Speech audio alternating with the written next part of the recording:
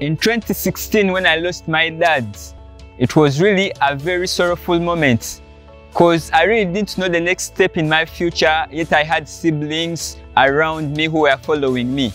So when I realized that we had a plantation of coffee, I felt like this could be the turn point of everything.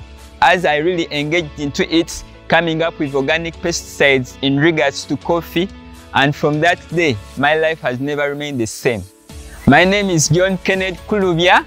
I'm 27 years old. I'm the founder and a vision bearer of Best Solutions Farm Supply Limited. We have been in business for two years and still counting. I realized that money to sustain our coffee plantation was not really available. I came up with the interest in coming up with organic pesticides such that we really reduce the costs of buying medicines and at which some of them are fake. This skill is so unique. It's really easily to learn, it requires less capital to start up, and the best thing is that the materials are locally available. In three years' time, I'm looking forward to setting up a cooperative whereby youths come together and they join and they do value addition, basically in coffee. In that we shall have provided a secondary benefit to our coffee farmers that we provide the organic pesticides with.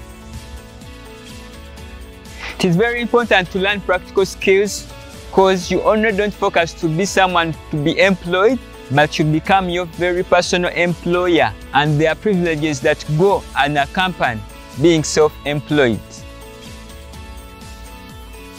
The practical skills are already in the inside of you. You just have to look around and you meet someone who can teach you, who can mentor you to unwrap what is already in the inside of you.